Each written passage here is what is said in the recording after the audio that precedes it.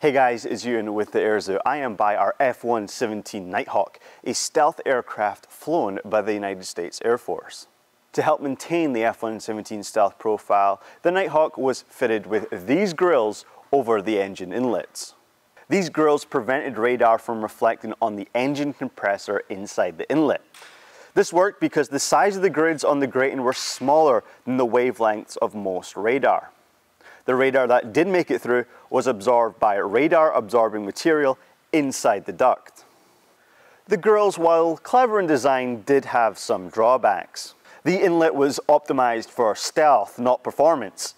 An intake suction relief door above the inlet was opened when the engine required more air, typically during startup and takeoff. These grilles also had the potential for ice buildup, which reduced airflow. To combat this, the F-117 was equipped with de-icing equipment, including a wiper blade to wipe away ice buildup.